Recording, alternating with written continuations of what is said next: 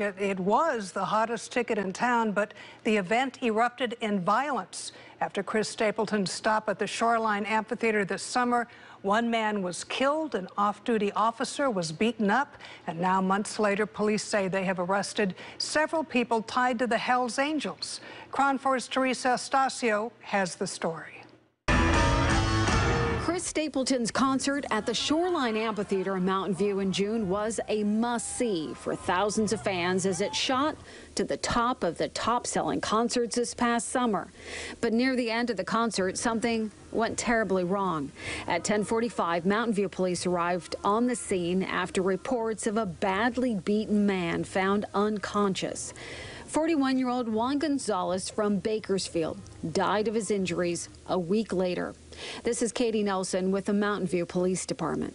It, it was an absolute tragedy. Um, you know, everything everything is done to keep shoreline safe. Logan Winterton of San Francisco has now been arrested in his death. KRON 4 has learned he was tracked down in Chicago. It was one of five search warrants conducted by 13 different law enforcement agencies, including the FBI. Today was the culmination of all that work, all of those partnerships and abilities to be able to reach out to our law enforcement uh, family and seek guidance and assistance and help um, and really, it, it very hard work, uh, very well done.